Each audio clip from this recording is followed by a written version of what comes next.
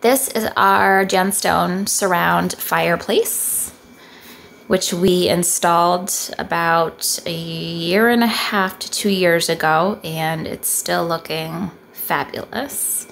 We went with the gray color because it kind of matched the neutral decor in our living room.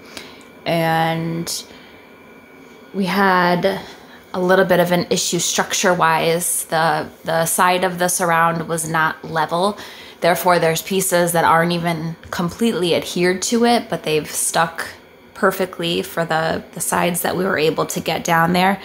Uh, I'd say our install took about a couple days, maybe two days. We didn't go super fast, uh, but everybody that comes and looks at this thinks it's actually stone. We got a nice um, marble, I guess it would be, for the top of the hearth.